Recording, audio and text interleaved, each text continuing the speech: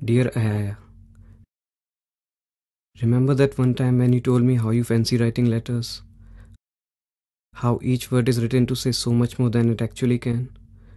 You believe that these letters have this innate ability to forever exist in that particular time and space in which they are written, absorbing every little detail out of that continuum, every unsaid thought, every left out emotion in one single sheet of paper. So after all these days, here I am scribbling to you.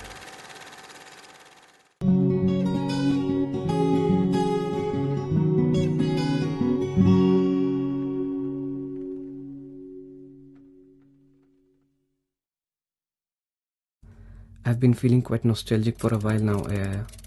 I guess an uncertain future makes a man coil back to his past. It's getting really hard to move ahead with all these strings pulling me backwards, you see.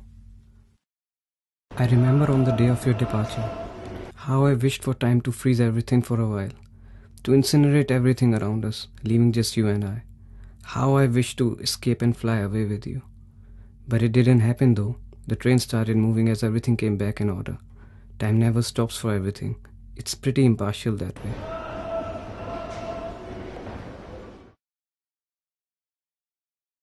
For quite some time now, I find nostalgia gripping me tightly. Fallen memories I didn't know were there are claiming their existence. They grab me, pull me backwards. They tell me to not move ahead, that future is unknown and thereby scary. But I don't want to be afraid, Ayaya. I know you'd never like me to be. So I keep moving. Right now, where I stand in front of a void, having no idea where it may lead me. Just come back soon, Ayaya. Till then, I'll just wait here with these forlorn memories of us. I walked 10,000 miles, 10,000 miles to see you. And every gasp of breath, I grabbed it just to find you.